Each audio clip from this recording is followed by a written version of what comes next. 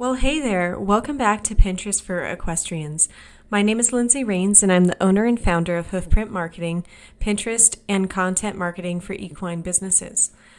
I'm back here today to just introduce you more to Pinterest as an equestrian platform.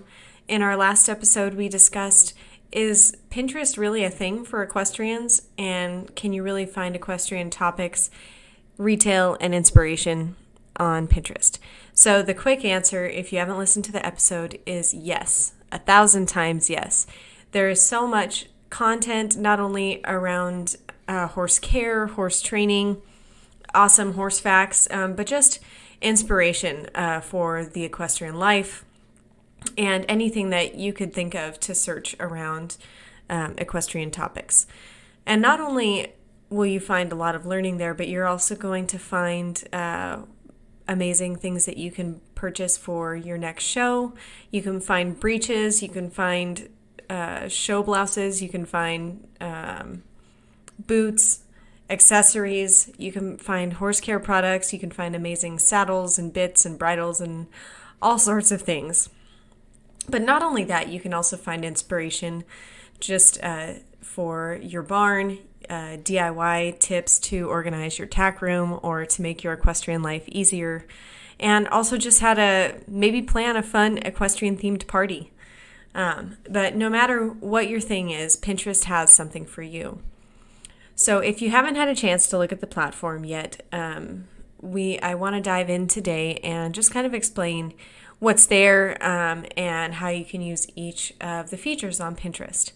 So, when you log onto the Pinterest app, you're probably going to see something called your home feed, or other words, a smart feed. So, in your smart feed, it, this is already a collection of things that you've either already searched for on Pinterest or have an expressed um, interest in when you signed up for the app. Now, you should already have an account if the app is fully functioning on your phone. And you'll notice that the very first thing that populates is for you. So at the top left hand corner of your smart feed, this is just um, a collection of things that Pinterest has picked out for you based on your most recent searches. Now, if you're looking at the top and you click the next tab over called Following, this is a compilation of recent things that people that you follow have shared. So if you want to follow, um, see what your um, the accounts that you follow have been sharing, that's where you'd want to go. And then from there, you can start to search for boards that you belong to, either that you belong to or um, that you created. Now, this is um, just the smart feed. If you look at the bottom next to the Pinterest icon is a little mag- or magnifying glass. Yeah, magnifying glass, and that is your search.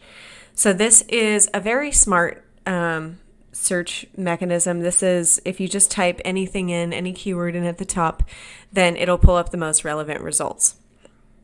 So sometimes um, if it's really populated with a lot of ideas, for example, the the topic horseback riding um, has uh, a lot of results. And so Pinterest will help you narrow it down. So it'll populate some top results, but it'll also help you narrow it down at the very top by offering other keywords that can help you be more specific. Now, Pinterest is very, very interested in giving you an experience that you enjoy. And so everything about the platform is about creating a unique and tailored um, experience just for you and just for what you like and what might inspire you. So you'll notice a few of these features will uh, be kind of tailored around either what you've already looked for or how Pinterest could narrow down its search even better for you. Um, so um, Pinterest also has, if you look down at the bottom, it also has a, a little plus sign, which is how you add a pin or a board. And then it has a little bell, which is your notifications. And usually that's if someone sent you a message, which is not very often, but it happens. And um, it offers you more inspiration in your notification center. And then it also um, will let you know when new people have shared things or have saved something that you have shared. And then if you go to the very right, you're going to see a little icon that should have your profile picture there if you set it up. And so if you click on that on the bottom right, then it will show you your homepage. And so this is your accounts homepage. So any pins that you've saved, all of your boards will be there. So this is where you would go back to find things that you've already saved or already shared. So a quick note on your personal profile. So, Pinterest is kind of two faceted in that you could go and search for something or just scroll your smart feed and just discover something new. And then the other facet is being able to save it. Now, think of Pinterest as a place with a ton of bulletin boards. Say you just had a ton of bulletin boards in your office or in your uh, kitchen just to save inspiration for later, and they were all sorted out by categories. Now imagine that you had a bulletin board for inspiration for every aspect of your life recipes um, and cooking, uh, recipes for baking, recipes for when you're on keto.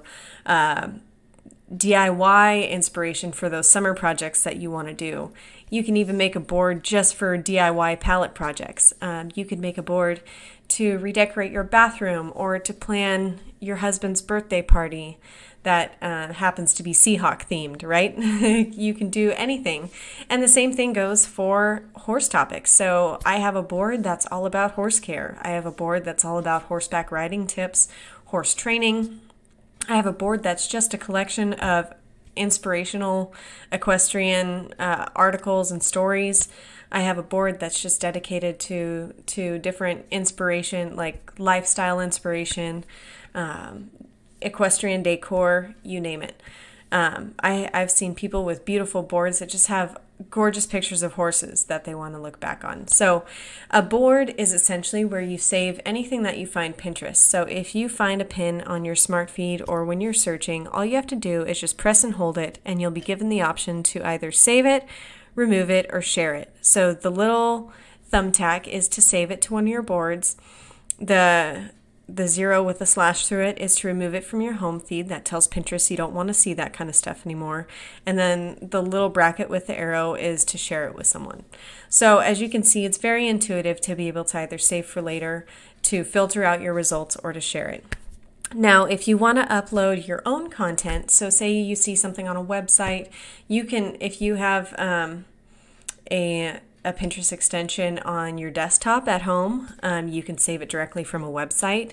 Um, if you want to add a new pin of your own, like say you created this awesome party that was unicorn themed and you want to save it for later and maybe share it with your friends, um, you can go ahead at the bottom of your Pinterest app to that plus sign and go ahead and add the picture.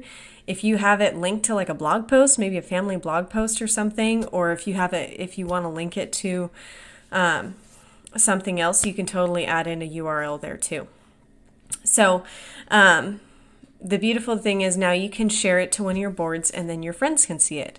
And when there are a few different types of boards you can have. So when you go ahead and create a new board, and you can hit the plus sign at the bottom of your Pinterest screen also and create a new board, give it a name, maybe pick out some pins for it.